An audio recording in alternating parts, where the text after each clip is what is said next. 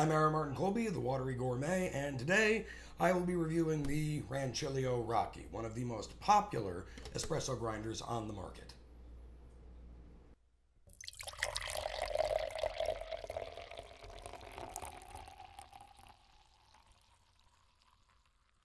And here it is, as promised, the Rocky. Rancilio makes two products that are legendary in the world of espresso the Rocky, as seen here, and the Silvia Espresso Machine. They go so well together, in fact, you can buy a chrome stand that holds both of them along with a couple of small drawers down below for whatever you would ever put into some very small chrome drawers. And as I mentioned, the Rocky is the most popular espresso grinder on the market, and as far as I know, that's true, and with very good reason. It's the cheapest good grinder that you can buy.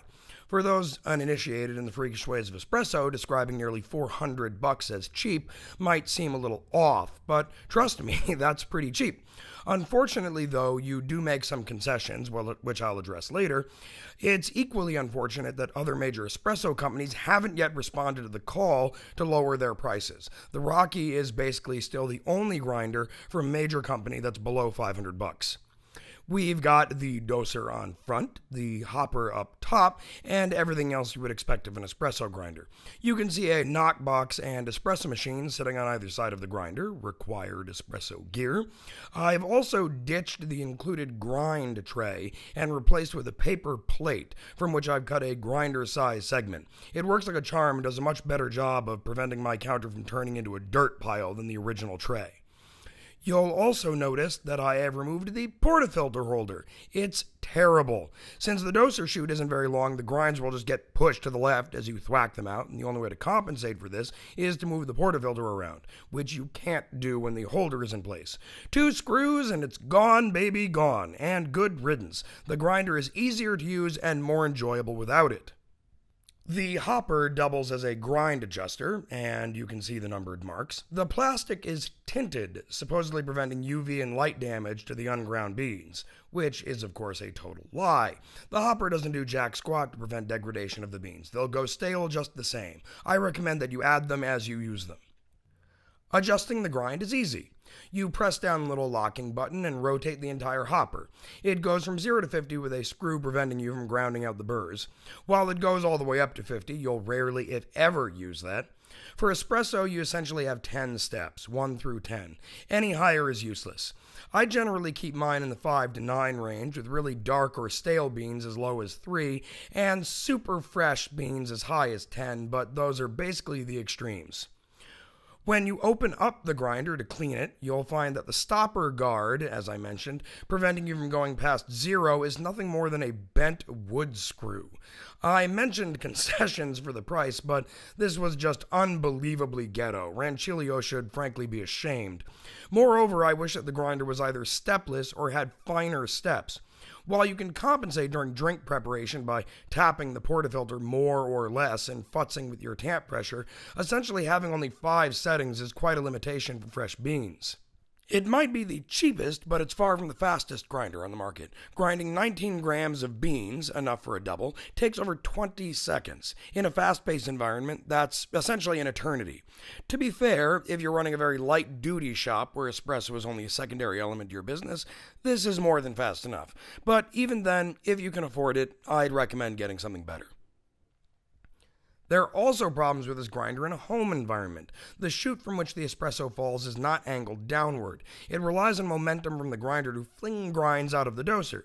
This inevitably clogs up the chute, and a shocking amount of grinds are left behind. And where a commercial environment would move beans through quickly enough, where the leftovers would never get stale, at home users might make as few as one drink per day. That means cleaning it out after every use. Thus, I have my handy dandy little metal skewer here, which I use to fish around in there. Really annoying, certainly, but not a deal breaker. And while we're in here, I'd also like to point out an issue with the design. The doser blades don't come anywhere near the edges of the doser wall, resulting in a persistent wall of grinds.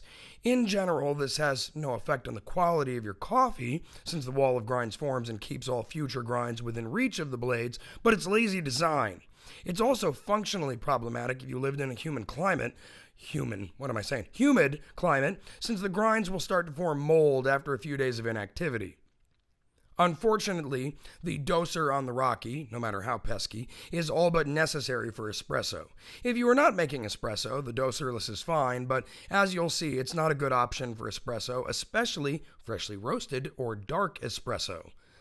The hopper presents more design problems. The screws that hold the hopper in place are open air, meaning that beans will inevitably get inside, preventing you from easily getting to the screws, which you need to remove to clean the grinder, which you should be doing regularly. A simple set of plastic caps would have done the job, but no, you have to either force your way in with a screwdriver, blow them out with compressed air, making one hell of a mess, or try to pick them out with a skewer. Also, of issue with the hopper is the guard. It's too big, too low down, and too just generally crappy. Dark roasted, oily beans will get perpetually stuck under the guard, necessitating a good wonk on the side of the espresso machine, or you're actively pushing of the beans down into the burrs. Neither option is very elegant. Both are annoying when you have a portafilter in your hand, and you would be well served to simply bust out your Dremel and cut that bastard out entirely. We finally come to the point of the grinder, the grind. It's not a quiet grinder, but it's not horrifically loud either. I'll give you a quick listen.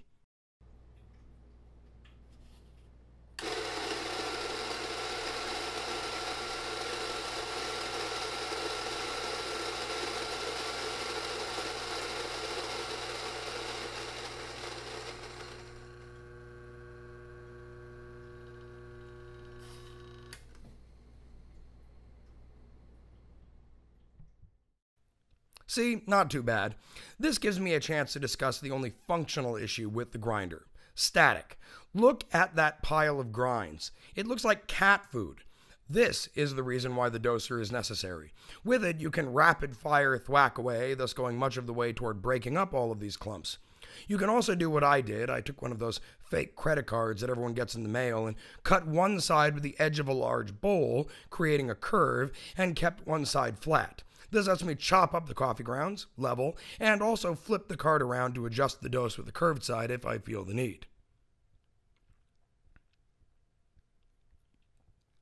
Again, with drip coffee, this isn't much of an issue, nor is it for AeroPress, pour over, or siphon, or any other prep method you can imagine. But for the high pressure, super fast production of espresso, clumps like this can kill a shot. You need absolutely need evenly distributed coffee particles. Basically, if you're in the market for the Rocky for espresso making, get the model with the doser. You can also see the amount of grounds that get stuck in the chute after you stop grinding. Again, with my trusty skewer, I venture in.